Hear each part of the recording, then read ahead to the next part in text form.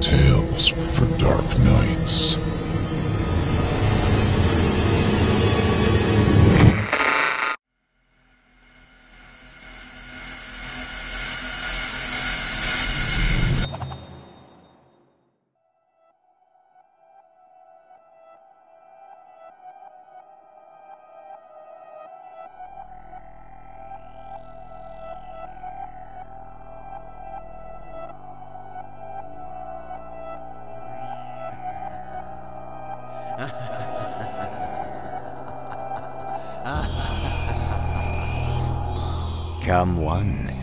Come all to our matinee of madness and partake in this theater of the mind. Welcome to the Simply Scary Podcast, Season 1, Episode 2. I'm your Master of Ceremonies, G.M. Danielson.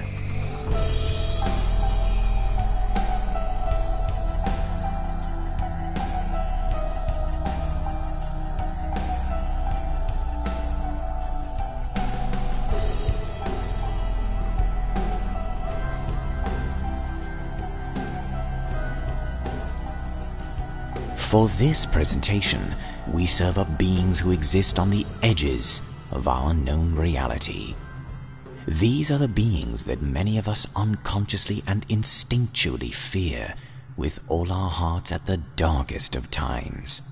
They seem to surround us constantly, and while we may not know it, we may still feel it. And no, I don't mean ghosts.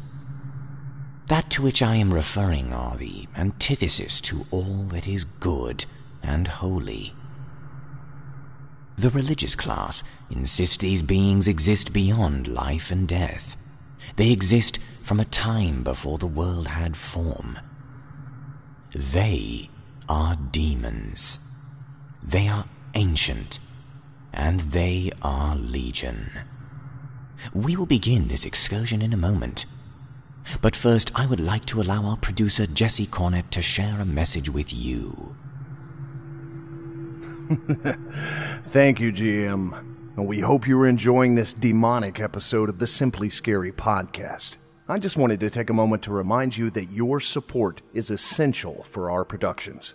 To lend your support to all we do, go to simplyscarypodcast.com after the broadcast and click on the patrons link at the top of the page. Not only will you help us create more Simply Scary content, but you also get access to the Chilling Tales for Dark Nights audio library, and you assure that we are producing brand new material to assault your ears. As a bonus, when you become a patron, we'll also feature never before released material you will get nowhere else, and you get first access to new productions. Every subscription helps us to scare you. So visit simplyscarypodcast.com today and support the kind of entertainment you deserve. And now, back to your host, GM Danielson.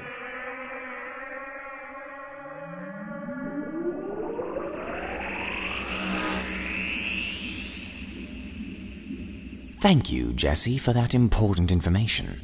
And now, it is time to begin. For our opening act, we go deep underground. Subways and tunnel transportation provide public transport, but they are notorious as magnets for the less stable among us.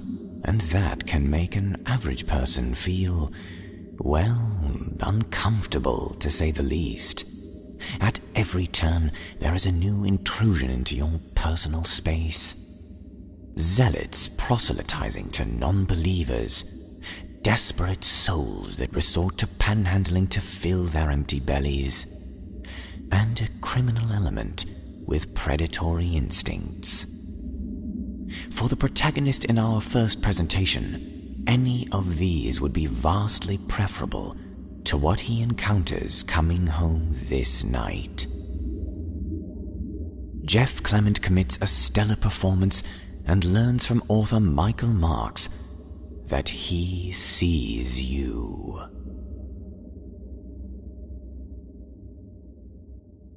He Sees You. Written by Michael Marks. Performed by Jeff Clement. She walked up to me, bright eyed and smiling, as I stood in the crowd waiting for the train. Her mouth was moving, but what she said was a mystery.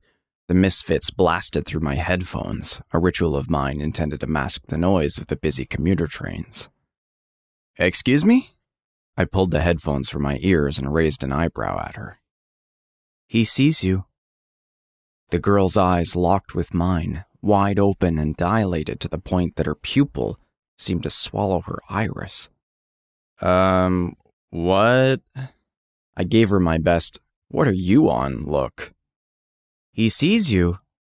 He wants you, she said matter of factly. The smile never wavered from her face. The small blonde girl was starting to creep me out big time. My first assumption was that she was drugged out of her mind, but she didn't look like the typical druggie. The girl wore a cleanly pressed red suit, the skirt hemmed just above the knee. She was draped with diamond jewelry and wore a haircut that probably cost more than my education. Who? Who sees me? I pressed. Maybe it was the way she was dressed, or Maybe it was the way she carried herself, but this level of crazy didn't seem to fit the person. I decided to indulge her another minute before I put my headphones back in and returned to my usual don't engage the crazies mode. He sees you. She retained the same strange expression, a smile plastered onto an otherwise emotionless face. I stared at her a few more seconds, waiting for her to elaborate before finally giving up the game. Okay, lady, time to get back on the meds. Or off the drugs. Whichever. I shoved my headphones back into my ears and turned away from her dismissively. I was just in time to hear Danzig launch into the chorus of skulls, and I fell back down into my own little world. It was hardly my first time dealing with some drugged out nutcase during my nightly commute. Ignoring them was usually the best possible response. At some point, I realized that the girl was still standing exactly where she'd been before. I could see her staring intently at me from the corner of my eye. After another moment, she turned away from me and headed back through the crowd in the direction she'd come from. I shook my head in disbelief at just how whacked out that seemingly put together lady really was, and turned my music up to deafening levels.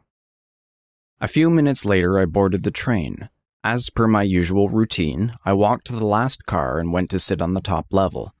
As I settled into my seat, I saw the blonde girl walk through the doors into my car. Her two wide eyes fixed on me immediately, and a Looney Tunes smile corrupted her pretty face. I quickly shifted my eyes to look out the window, pretending not to register her presence. But I felt, rather than saw, her climb the stairs. The top level of the train car was nothing but a row of single seats on either side with a railing and a luggage shelf shared by both sides hanging from the ceiling. She went to the opposite side of the car and sat a couple of seats back from where I was. I didn't look, but I swear I could feel her eyes on me the entire time. There were 10 stops between the main station we were pulling out from and my stop in Dentonderry. With each passing of a platform, I would glance behind me very briefly and casually, hoping to see an empty seat where she'd once been. But at each station, I was disappointed. The girl would be there, leaning out of her seat, eyes wide and staring, mouth smiling. She was making me nervous, and I found myself glancing back at her more and more often and with less subtlety. Her expression never changed and her eyes never faltered from mine. I became increasingly concerned and unsettled that in a train car this crowded, nobody seemed to notice this psychopath staring me down, or at least no one acknowledged it. The other commuters' eyes were fixed downward, wrapped up in their own little worlds, ignoring my situation entirely. I counted down the stations, growing increasingly panicked the closer I got to my destination. When the train finally slowed down at my station, I bolted from my seat and took the descending steps two at a time. The instinct to get away from the stranger was so overwhelming. I'd never felt so uncomfortable in my life. The way she looked at me, it was like she wanted to eat me. I was the first one out the door and into the cool night air. I leapt down the steps of the train station and walked briskly out into the street. I chanced to look back, and when I didn't see the girl following, I slowed down a fraction and took a deep breath, laughing to myself. I pulled the headphones from my ears and took out the cigarettes from my pocket. Lighting a smoke, I watched the train pull away from the station, its whistle echoing and fading as it went on down the line. Sayonara, psycho, I said aloud and saluted the quickly departing train. It was a 10 minute walk back to my house, and I found myself walking much more quickly than usual that night. I could still feel her eyes on me, and I couldn't get her out of place smile and odd mannerisms out of my head. I smoked my cigarette and did my best to forget the whole encounter, ultimately failing, and before I knew it, I was standing at my front porch. The outside light had been broken for a while, and the house stood a dozen yards or so from the street, leaving the area in complete darkness. I shuddered involuntarily. She's gone, I told myself. It was just some crazy addict, that's all. Someone else's problem. Just because a meth head can dress herself doesn't mean she's not a couple beers shy of a six pack. I took one last drag from my cigarette and then flicked it to the pavement, then walked up the stairs to my porch and found myself enveloped in an even deeper darkness. I fumbled in my pocket for my house keys, eventually found them, and then struggled to find the right one. I felt rushed, as if all the evil in the world was suddenly bearing down on me. I nearly broke into an insane sort of laughter, but I found the right key just before the madness overtook me. I pulled open the screen, ready to vault inside and flip on every light in the house. Then I felt a tap on my shoulder and heard the familiar voice of the stranger. He sees you. Before I could react, she was on me. She wrestled me to the ground with what felt like the strength of a person three times her size. I felt all the air leave my lungs as my back connected with the unforgiving surface of my concrete porch. My hands grabbed wildly at her, trying to find purchase as she straddled me, a considerable weight set upon my body. My eyes, which were quickly adjusting to the darkness, took in the familiar two wide eyes and two animated smile. He sees you, she repeated. He wants you. A calm voice, a matter of fact voice. The more I tried to push her away, the further she leaned over me. For a girl her size, she was sporting a superhuman strength. Since she'd first attacked, her eyes had somehow grown even wider and whiter, and I found myself staring into the embodiment of pure madness. Her mouth had changed shape for the first time since I had seen her. It opened wide, and her jaw appeared to unhinge like some kind of snake. I screamed for someone, anyone to help me as I continued to claw at her. And then something came writhing out of the darkness of her wide open mouth. In pure shock, I shot my hand up under her chin and tried to push her mouth closed. I felt something like tendrils wrap around my wrist and little traces of slime drip down my arm. I see you. This voice was different from the stranger's. It was guttural and deep. It was the sound of something ancient and dead, and it came not from the woman's mouth but from inside my own head. This was the end, I thought. In a last, pathetic attempt to save my own life, I took one hand off of her face and searched the bare ground next to me, trying desperately to find my keys. Her gaping maw drew ever closer to me, wider still, threatening to swallow me whole. Just as her upper lip touched my hairline, my fingers happened upon cool, sharp metal. I snatched the keys up and shoved the largest one between my middle and ring finger. With all the strength I had left, I punched the key into the side of her head. And then I did it again. At first, she seemed unfazed, even as I felt drops of her blood drip onto my arms and face from the repeated stab wounds I'd created in her cheek and temple. Then the key found a much softer target, pushed in deep, and caught her eye. The scream that echoed forth was something shrill and primal. No human could make that sound. Nothing living could make it.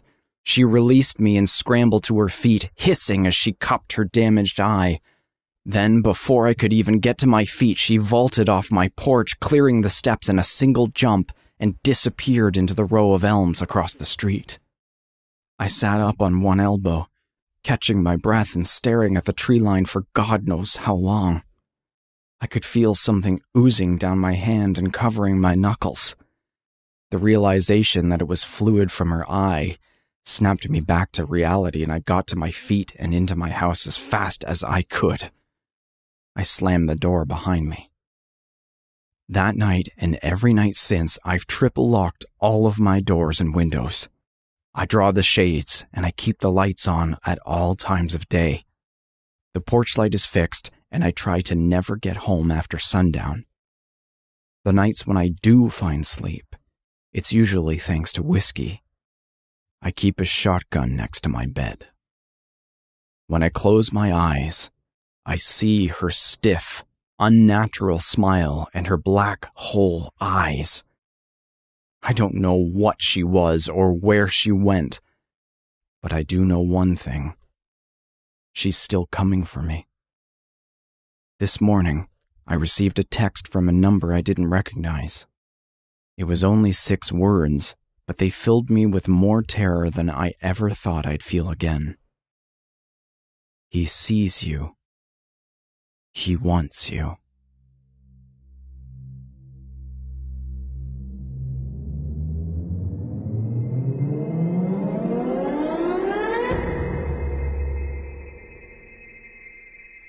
So, we learn you can fight the dark spirits that come after you.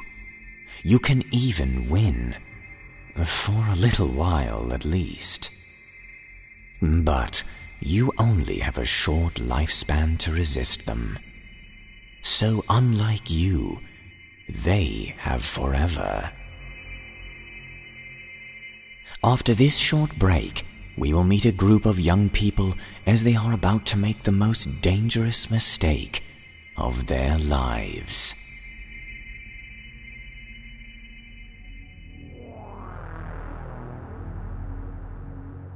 Hello there, listeners of the Simply Scary podcast. My name is Ashley Arndt, and you can join myself and the rest of the Chilling Tales for Dark Nights Evil Idol contestants for the final round of Evil Idol where you decide who the winner will be. Be there Monday, October 31st at 9 p.m. Central Standard Time and listen as we perform live some of the most frightening tales we can dig up and take part in choosing who will win the coveted grand prize package. I will see you there so you can help us turn off the lights and turn on the dark.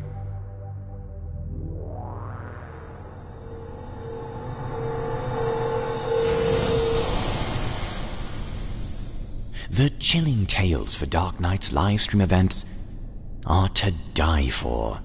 This Halloween sounds like it will be no different. Now, for our next presentation. Young people can feel invincible, for like a good many of us, they may have been sheltered while maturing. Often, inevitably, that sheltered existence can become stifling, and many of them may venture out and court danger just for the simple thrill. When the five young people in this tale go out and seek some thrills for the supernatural, they learn just how vulnerable their existence really is. Steve Gray performs for us author Andrew Harmon's Snow Angels.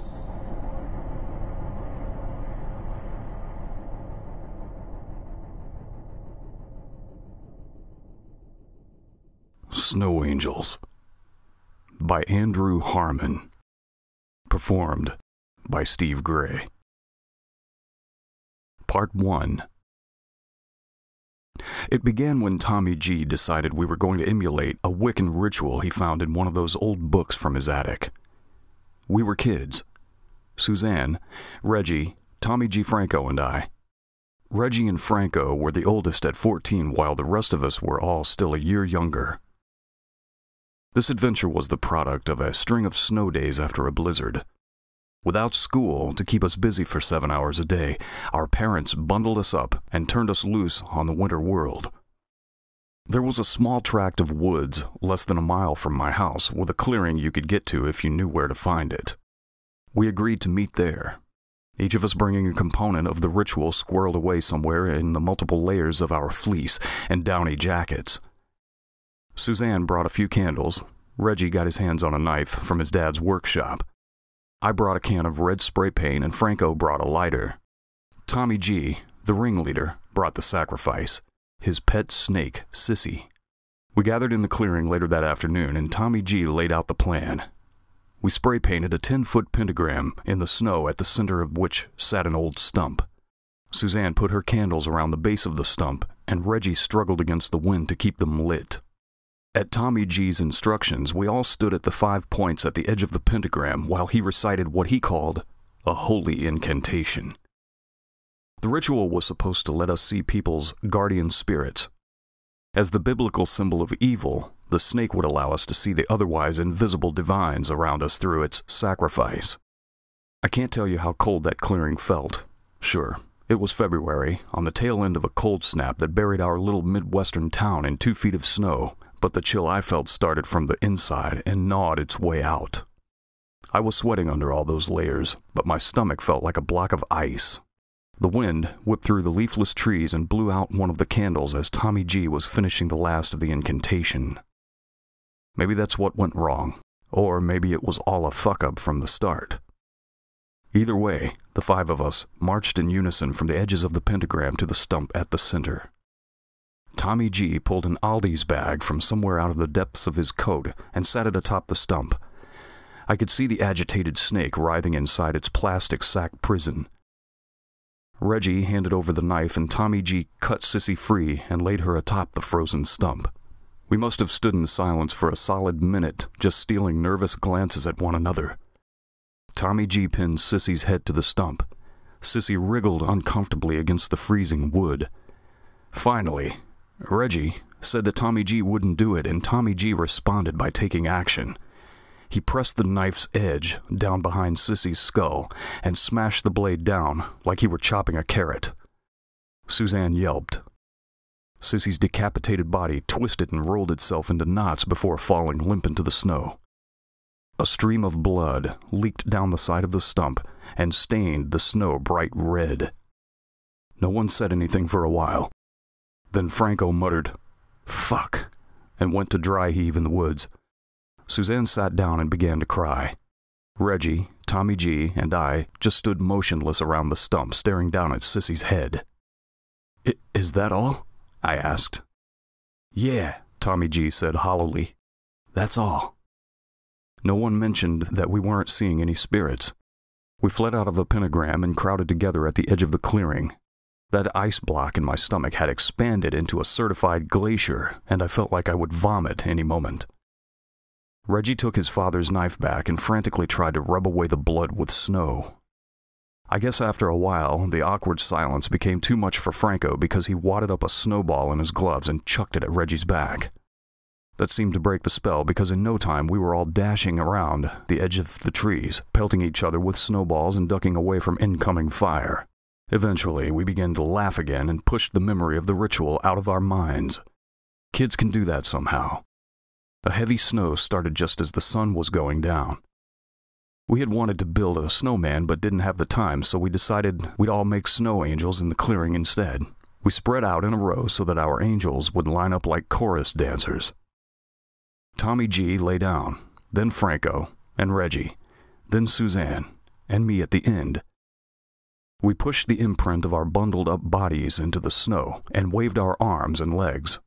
Just as I was finishing up mine, a surge of fear and coldness rushed through me, made me convulse where I lay.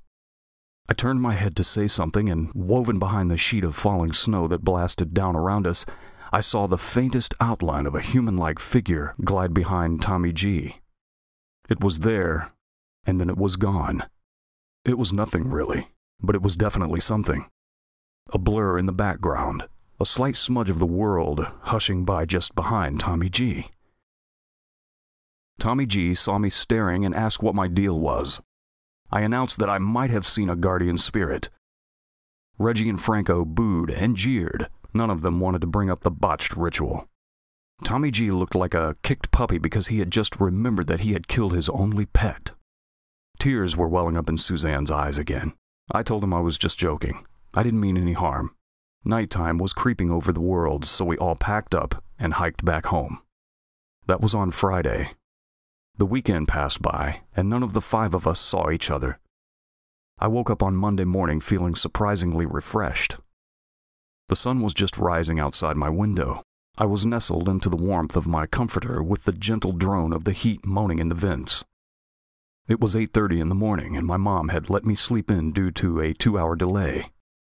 When the school bus picked me up, all of my classmates were chatting and running amok. Five days with no school had filled us with rambunctiousness that could not be contained. We joked and laughed and took turns talking about how we wished another blizzard would come and bury the whole school in snow. The bus was so busy and chaotic that none of us even noticed Tommy G wasn't there. In fact, I didn't notice myself until third period when I sat at an empty table in English class. Tommy G sat behind me, and we'd usually spend the whole hour passing notes and dirty doodles back and forth. At lunch, I asked Franco and Reggie if they'd seen Tommy G, but no one had. He must have been homesick, the lucky bastard. The day dragged by, but eventually we all got dropped off on the corner, and Reggie, Franco, Suzanne, and I stood on the sidewalk shivering. We decided we would head over to Tommy G's place to give him a hard time about playing hooky. When we got to his house, the driveway and curb were both packed with cars. We figured his parents were having a party, but we'd stop by if only for a minute. Standing on the slick porch, we rang the doorbell and waited. After a few minutes, an older man we didn't recognize answered and asked what we wanted. His eyes were puffy behind his glasses. We told him we had come by to see Tommy G, and he ushered us into the foyer without a word. Inside, the mood was beyond solemn. People we didn't recognize were milling about and talking in whispers. What's going on? Reggie asked.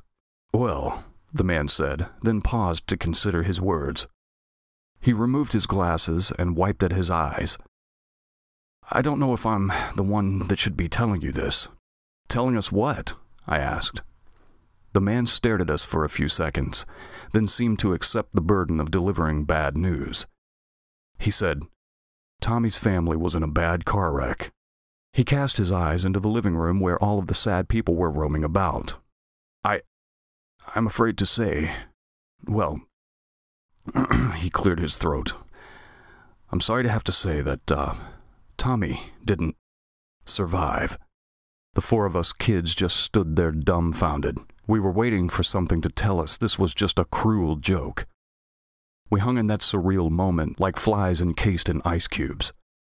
Suzanne's face scrunched up into an awful grimace.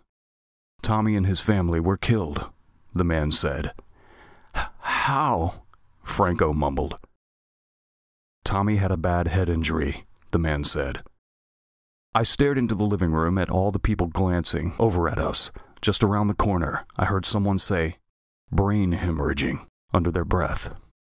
And the person they whispered it to gasped into their hand. How can I put into words how empty we all felt walking down that driveway?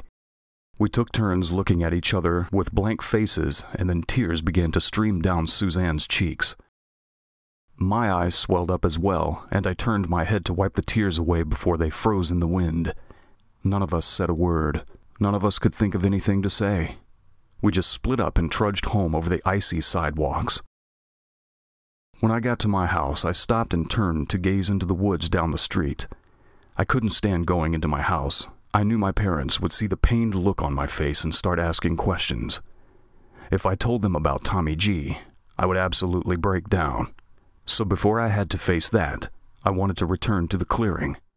I wanted to stand in the place where I had last spoken to Tommy G, where we had thrown snowballs at each other and laughed and trounced around in the snow. The woods were dead silent. That harsh winter wind tore through the branches and whipped my cheeks beet red. I found Sissy's headless body at the edge of the clearing where Tommy G had thrown it before going home. A light dusting of snow covered its black scales. It was frozen solid.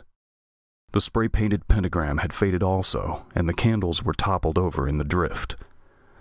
On the opposite side of the clearing, our five snow angels remained, but I noticed something strange from a distance. I approached them slowly because in my mind I already knew what I had seen. As I stood over the five snow angels, I began to tremble uncontrollably because there, where Tommy G's head had laid, the snow was stained bright red. Part 2 Reggie took Tommy G's death the hardest. The two had been inseparable. Reggie grew up poor and in a pretty rough household, so Tommy G's place was where Reggie went to escape when his parents argued and screamed. He wasn't at school the next few days, and we understand why. That Friday night, we all met up again Reggie, Franco, Suzanne, and me.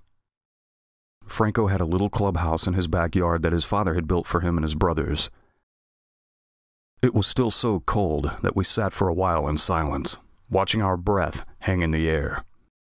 I wanted to tell everyone about what I had seen in the clearing, I wanted to say the words brain hemorrhaging like I had overheard at Tommy G's wake and then show them the red snow that stained the head of Tommy G's snow angel.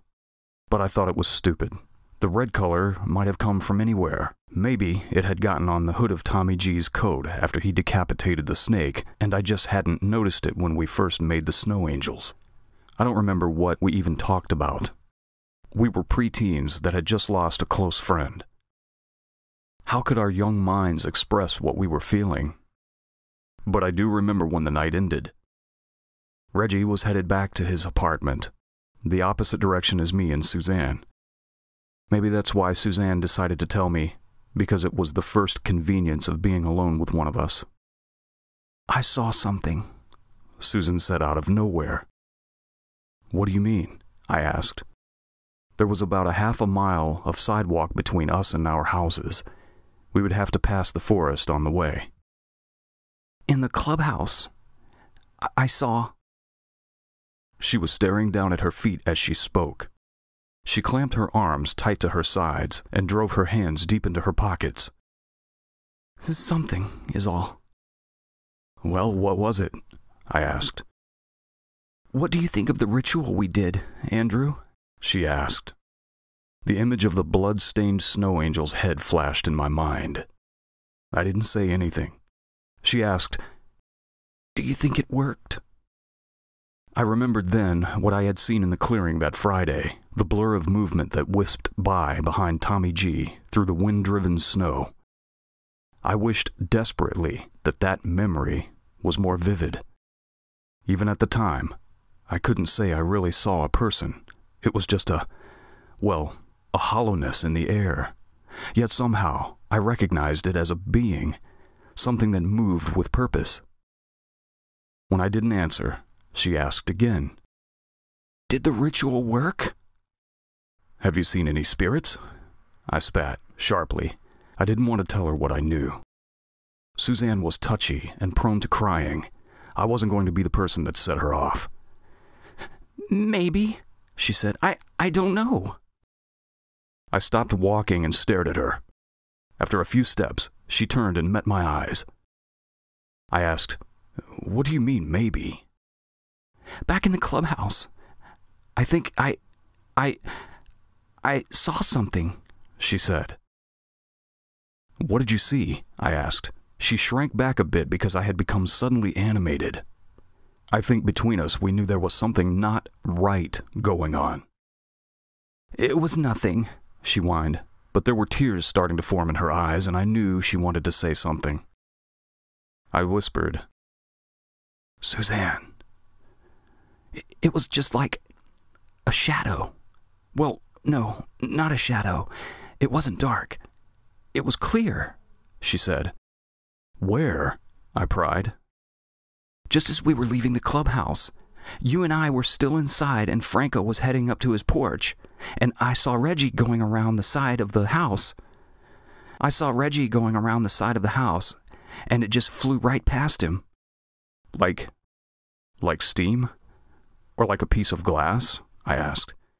She was beginning to tremble because she could see that I was nervous. Yeah, like steam. It was just. She sawed the sleeve of her jacket across her running nose. She was hollow. She? I asked. A knot had worked its way up my throat. Yeah, it's stupid. I just. I felt like it was a woman, Suzanne said. I went back to the clearing after we found out Tommy G died, I said. Yeah, so? She said. I saw something there, I said. I turned and looked off toward the woods. The sun was beginning to set, and it was too late for us to venture off into the clearing and back before it grew dark. I must have been staring too long without saying anything because Suzanne stomped her foot on the icy pavement to get my attention. Tell me, she demanded. I don't want to tell you. I think I should show you, I said. Then show me. It's too late tonight. We can go tomorrow. Meet at my house and I'll take you out to the clearing. Should we tell Reggie and Franco? She asked. They'll think we're nuts, and I don't think we should be bringing up Tommy G around Reggie right now, I said. Just you and I. We met early that Saturday morning, and it had snowed a little overnight, and I was afraid the snow angels would be buried. Suzanne dressed light for the weather in a powder blue sweater and tight jeans. Her brown hair was pulled back in a ponytail, and she had a blue headband that covered her ears and most of her forehead. It dawned on me for the first time that Suzanne was cute. She was the sporty type, not quite a tomboy, but not exactly a girly girl either. I wondered why I had never noticed the faint freckles that spanned the bridge of her nose. The forest was silent as we hiked towards the clearing. The trip took about ten minutes maximum, but I recall that I never heard a single bird or squirrel the whole way there. I heard our heavy breathing, with the vapors of our exhalations billowing up into the dead branches. Now and then some snow would crash down on the ground, somewhere in the distance. But all in all, this little tract of woods seemed lifeless. Surprisingly, the clearing looked like it hadn't gotten even a dusting of snow. Sissy's headless body still lay frozen on the edge of the clearing, the blood that ran down the sides of the old stump had darkened to a sick brown hue, and the spray paint of the pentagram was still visible on the snow. I grabbed Suzanne's wrist and led her across the clearing. There laid our five snow angels all in a row. Tommy G's, then Reggie's, then Franco's, and Suzanne's, and my own at the end. What is that? Suzanne squealed. I had led her to Tommy G's snow angel, and she was staring down where Tommy G's head had laid, and it was still dyed bright red. I, I think my breath shivered out between my chapped lips, and I glanced over at Suzanne's face. I think it's blood. Oh no, she moaned. She covered her face with her black gloved hands. No, no, no. She took a step away from the snow angel with each utterance of the word. Where did it come from? Whose blood? I don't know, I said. I came here right after we left Tommy G's house on Monday, and it was here. I didn't tell anyone because I didn't bother finishing my sentence. Do you think it has anything to do with. Neither did she. We both turned towards the old stump and Sissy's severed head. That's what I wanted to tell you, about the things you saw yesterday, I said. I sat down in the snow and pulled my legs up against my chest. I saw it too. You saw it? Yes, well, no, I said. I saw one here, in the clearing. When we were making these, I jerked my head towards the five snow angels. It was snowing really hard and windy, and something just floated by.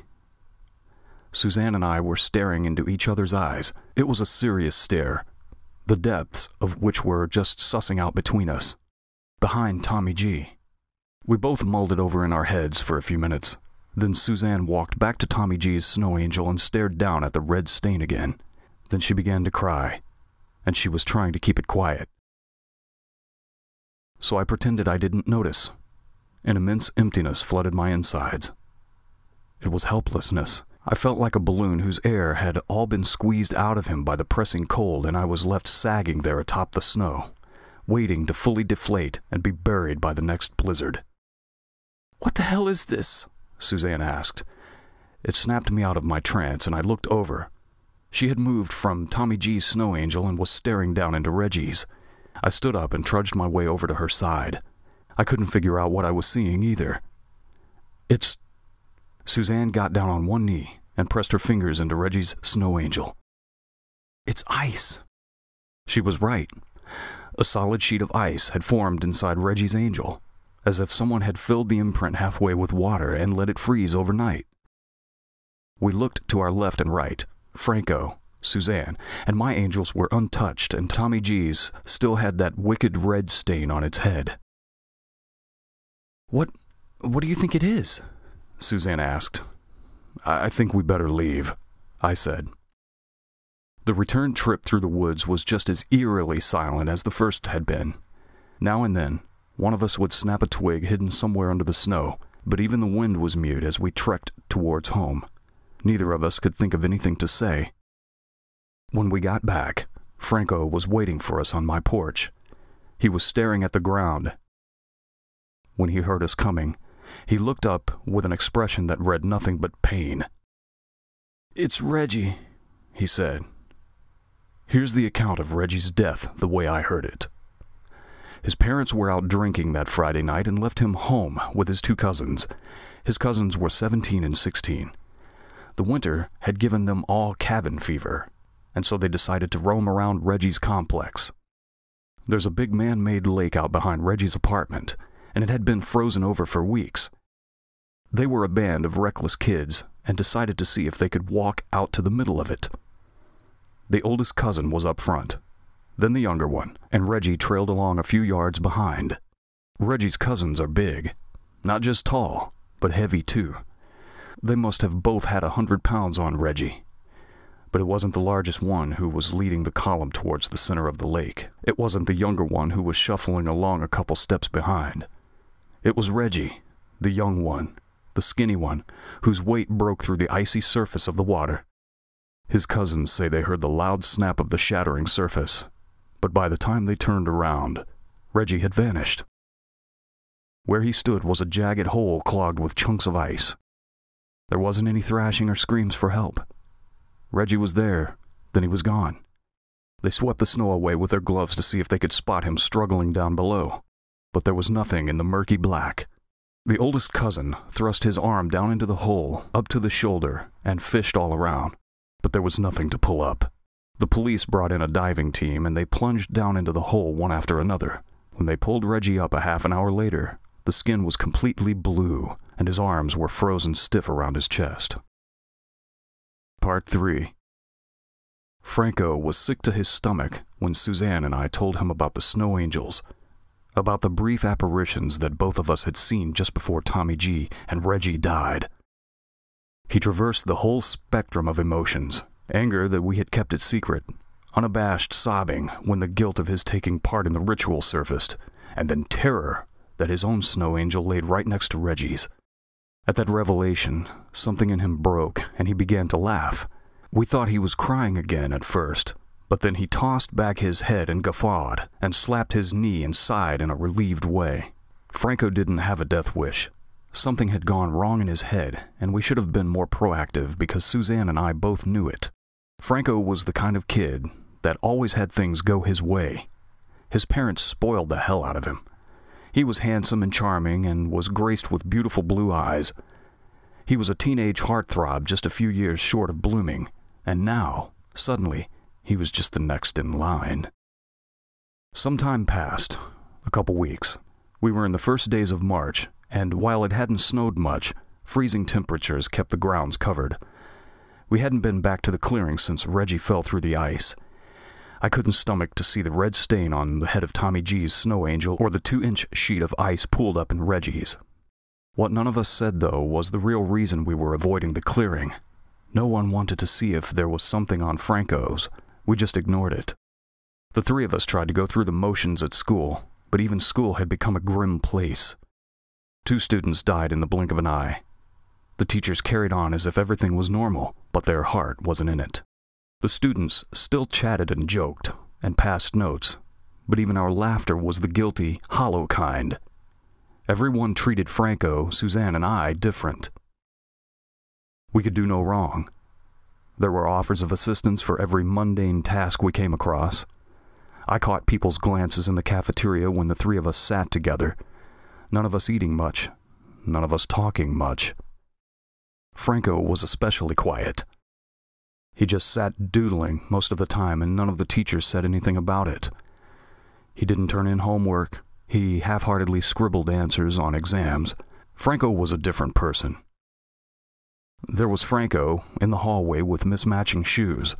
There was Franco in the cafeteria flooding his lunch tray with ranch because he forgot to let off the pump. There was Franco sitting in his front yard, jamming a stick into the mud. I felt bad for him. One day I pulled Suzanne aside and told her we had to do something.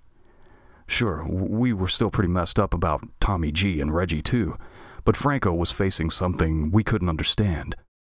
Maybe we were just making assumptions about the nature of this ritual we botched, but empirical evidence suggested that our punishment was moving in a definite order, and in that order, Franco's death was the next stepping stone. We showed up to his house with a cake, Yes, this was the best that our preteen brainstorming could come up with. Surely, we thought, some fucking sweets would turn things around. His parents ushered us into the house, smiling hard because they worried about what their son had become and were glad to have help from his friends. We found Franco in his room, just sitting there. No music turned on, no magazine in front of him. He conducted himself as if he were in death's waiting room. We circled around him, then joined him on the floor, setting the cake in front of him. Franco just sort of nodded, then returned his gaze to the wall. Franco's parents had given us some paper plates and some plastic forks, and Suzanne held the knife out to Franco and asked if he wanted to cut the cake. And at the sight of it, Franco lunged like a cat against the wall. He tripped over half of his belongings, scrambling around the room. I shot my hand out to Suzanne and pushed the knife down to the carpet. Franco was nearly hyperventilating. We just stared. It was quiet like that for a minute or two. Then all three of us laughed. And we laughed hard. Franco got the best chuckle of us all and cracked jokes at his own expense, pretending to claw his way up the wall, making hissing sounds.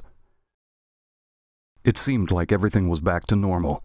But then Franco started talking about some weird thing lemurs did that he read about in National Geographic, and he stopped mid sentence because Suzanne was staring at him with her eyes as wide as headlights and her lower lip quivering, and I looked up where she was looking and saw it. Something between a cloud of vapors and a woman was kneeling behind Franco. There was no face to make out or clothes that I can describe. It was just as if a human had been painted in those squiggly lines you see in the air above hot pavement on a summer day. Franco was asking us what our deal was when the spirit unfurled a pair of wings the width of a truck from behind her back and hugged her ethereal arms around Franco's shoulders. Franco said we were giving him goosebumps all of a sudden. Franco, Suzanne whimpered. It's here. Guardian angels are a legend that says when people are in trouble, divine spirits will intervene on their behalf. It was supposed to be a sign that a person's time hadn't yet come. The ritual with the snake and the pentagram and the candles and the incantations that was supposed to let us see guardian angels. But we were seeing them all wrong. The spirits, these wisps, these mirages, they weren't guarding anybody. They were announcing death. No, worse yet, they were setting death in motion. Would Tommy G have been in that car crash if there was no ritual? Would Reggie have fallen through the ice if no one had lopped off Sissy's head? If we weren't such gullible and reckless children, would Suzanne and I have seen Franco innocently shivering in this evil spirit's embrace? Franco was in bad shape. He was shaking like a leaf in a tree. He was pale, he was fighting back tears, and he kicked the cake across his room, and he took the knife we were using to cut the cake, and he threw it out the window. Franco marched into the bathroom down the hall. From behind the locked door, he gave us instructions. We had to go to the clearing and see what had become of his snow angel. He was just too scared to join us. It was safer if he just locked himself up in the bathroom and did nothing. Not a single thing. He was sobbing so hard we could barely make out the words. Now and then, he would lash out with screaming and cursing and beat his fists against the counters. Suzanne and I left in a hurry, not bothering to tell his parents what was going on. Franco's house was the furthest of all of us from the clearing. I grabbed Suzanne by the elbow, and the two of us jogged our way towards the woods. Twice, Suzanne collapsed mid step and sat shivering on the pavement. I wiped the tears from her eyes. I told her we didn't have time to cry yet. It took us 15 minutes to get to the entrance of the woods. It took another 10 to find the clearing. And when we did, there lay Franco's snow angel, the third in line. And it was a sickening sight. A pile of brackish green bile was freezing in the center of the snow angel. Neither of us could tell what this ugly goop was, but it gave off a putrid chemical smell, and there were little powdery chunks of something mixed in it. I got a stick and churned up the slimy puddle. It was stringy and sticky like mucus. When I disturbed it, the god awful smell became overpowering. Suzanne and I had to walk away and collapse in the snow to catch our breath. What is it? Suzanne pleaded. What does it mean? I don't know, I yelled. I was furious. Is Franco going to die? Suzanne asked, her voice crackling. I beat my fists into the snow and began to rock back and forth on my knees. A headache pounded inside my skull. I don't know, I said. I grit my teeth and scrunched up my face and groaned, as if terror were a physical wound stinging in my chest. I don't know. What Suzanne and I did know was that we really didn't know anything. In the realest sense of the cliche, we were messing with forces we did not understand. What good did it do for the two of us to come to the clearing? What good would it do to know that Franco's death was imminent when we didn't know how or why or when it was coming? We must have sat there in the clearing for 20 minutes, each of us just silent with our thoughts. After a while, I pulled Suzanne up to her feet. We've got to go tell him, I said. Would you want to be told? Suzanne asked. I don't know, we didn't get a chance either way. By the time we got back to the house, Franco was being loaded into the back of an ambulance. His dad hugged his arms around Franco's wailing mother. She looked up at us with tears running all over her red face, but didn't say anything before they climbed into the ambulance with their son. Turns out, Franco couldn't handle the potential of his own death, and he took matters into his own hands. He was locked up in the bathroom, and shortly after we left for the clearing, Franco just started swallowing down whatever cleaners and solvents and pills he could find in the cabinets. His dad kicked down the door when Franco didn't respond and found him on the floor surrounded in empty bottles of Drano and sleeping pills and toilet bowl cleaner. At the hospital, they pumped his stomach, but it didn't help. He was in a coma for a couple of hours, and then all his organs failed in a hurry. Just like Tommy G and Reggie, he was there one minute, and then he was gone. Suzanne broke down and told her parents everything. Then all hell broke loose in our little town. The local papers printed headlines about five teenagers performing black magic and sacrifice in the woods. The nightly news instructed parents on how to spot signs of Satan worship. I was ostracized at school when I eventually returned to classes. No one sat with me at lunch or spoke to me in the halls. The teachers regarded me like an ugly stain in their classrooms. Suzanne was pulled out of school and sent to live with her grandparents in New England. I never got a chance to say goodbye to her between Franco's death and her departure. I watched from my bedroom window as her family's SUV, packed to the brim with luggage, pulled out of the driveway and sped off to the airport. I was grounded indefinitely, but that was fine, because I had nowhere to go. My friends were all dead. No one in town would acknowledge me. On grocery trips, I would follow at my parents' heels, trying to ignore all the people staring at me from down the aisles. I heard that Suzanne was in therapy, and I was glad, because that meant she was alive and the spirit hadn't checked off the next name on its list. My parents eschewed the need for a psychiatrist and took me straight to a priest instead.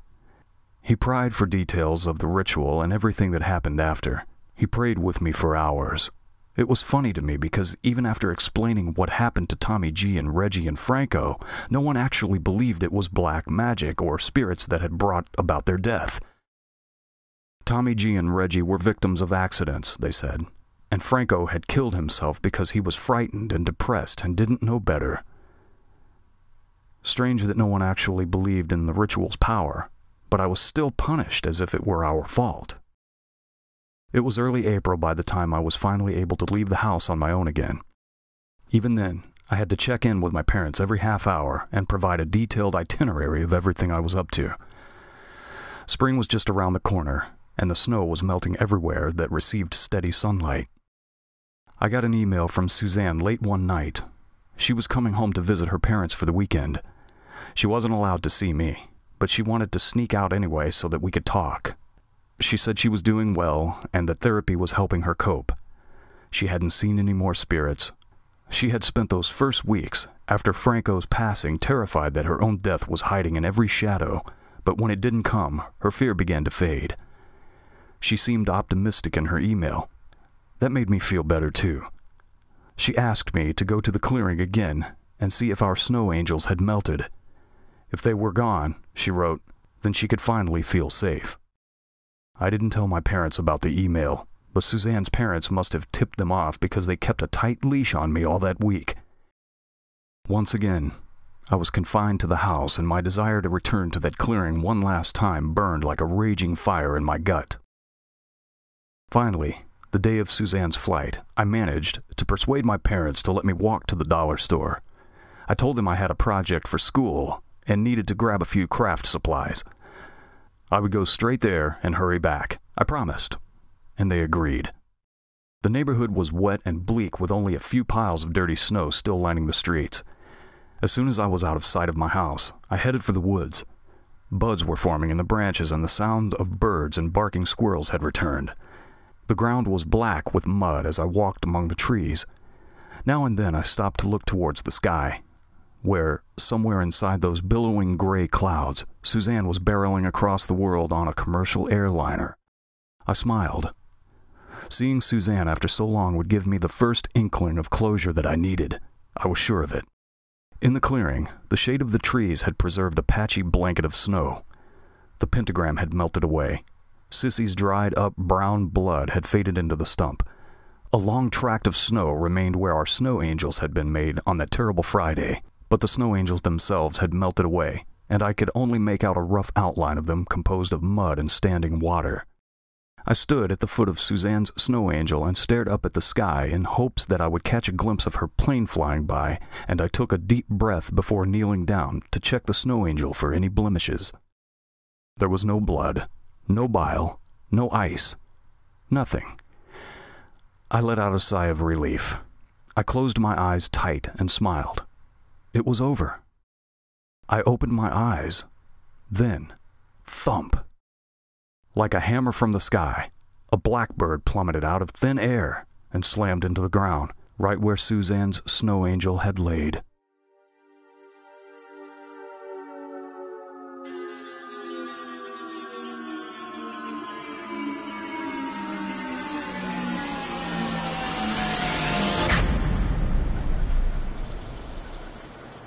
Now, far be it from us to tell you what not to do. But if you really want to play around with the supernatural, feel free. After all, the snow angels are eager to make your soul their plaything too. Following a final important message from our producer, we think him slightly mad sometimes, we will bring you the latest news from the Simply Scary podcast and information on how you, yes, you, can be a part of our broadcast.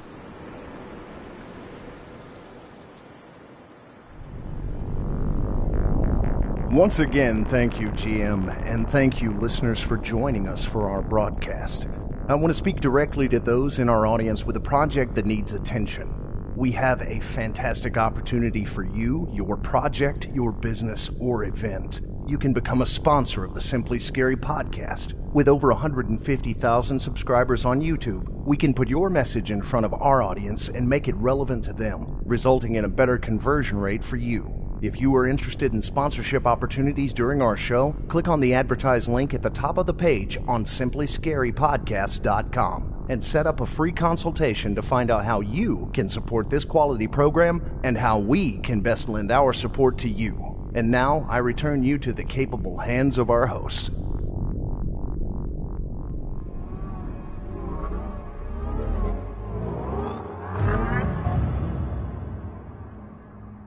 Welcome back, dear friends.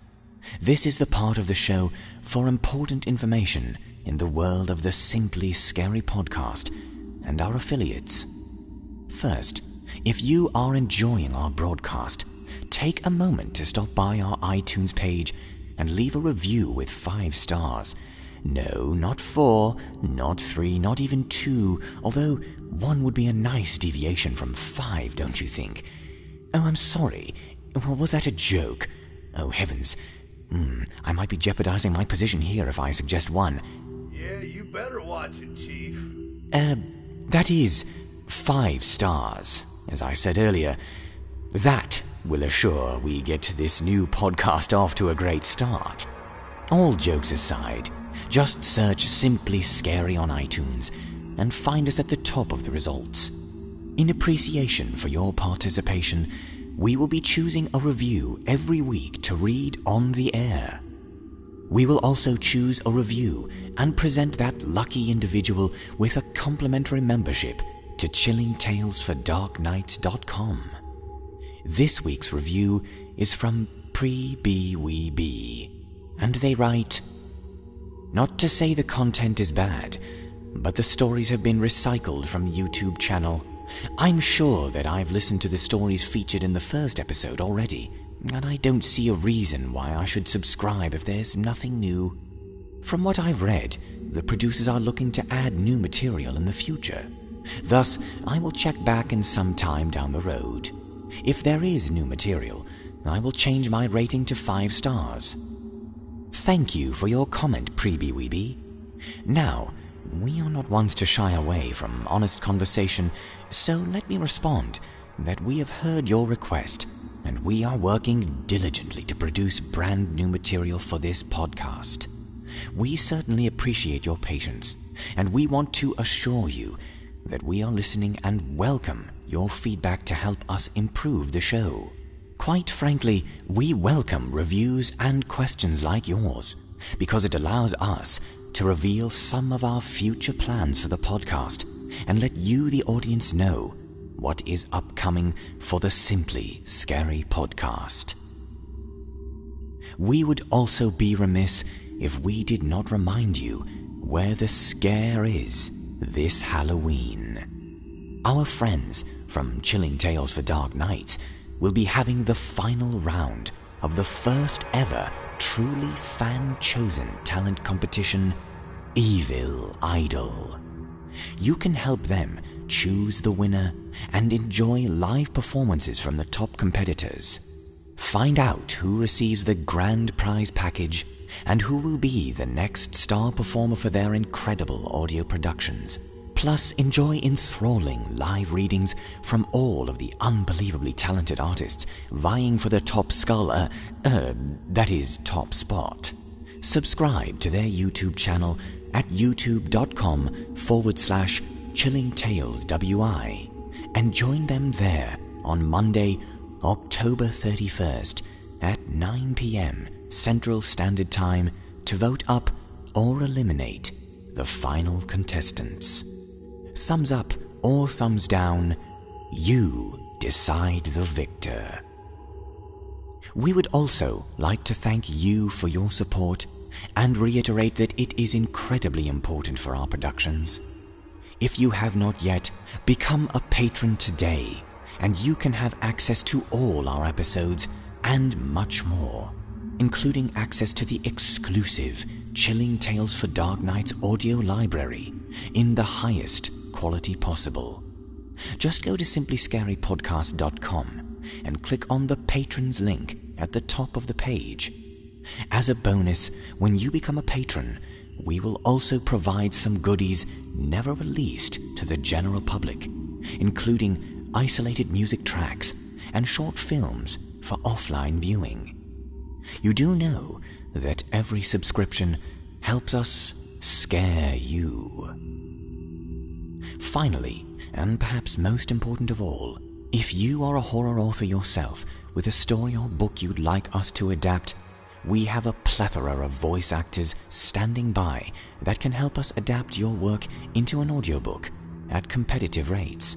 Please don't hesitate to reach out to us through our contact page on simplyscarypodcast.com or at contact at chillingtalesfordarknights.com. We can provide you with a great opportunity to terrify new audiences. If you are interested in sponsorship opportunities for your business or event during our show, click on the advertise link at the top of the page on simplyscarypodcast.com. Also, if you have a story you want us to feature on the show, visit simplyscarypodcast.com forward slash submit a story, and we'll see if your story has what it takes to make our blood run cold. Thank you for joining us for this broadcast. I'm your host, GM Danielson, reminding you that if you try to escape from one demon, you could just be getting closer to another one. We will see you next time when we show you there's nothing simple about scary, unless it is the Simply Scary Podcast.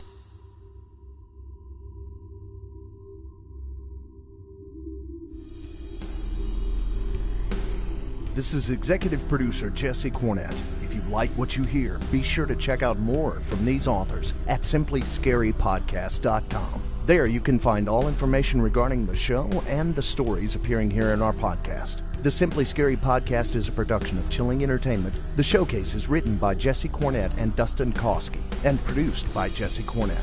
The host of the Simply Scary podcast is GM Danielson. Original music during the show by Jesse Cornett. This broadcast was directed and created by Craig Groshek. Be sure to look for the Simply Scary podcast on iTunes. And if you like the show, leave us a five star review. Comments or questions? Email us at contact at simplyscarypodcast.com and check our website for more information. While you're there, consider clicking on the patrons link at the top of the page to help support our show. Copyright Chilling Entertainment LLC 2016. Thanks for listening.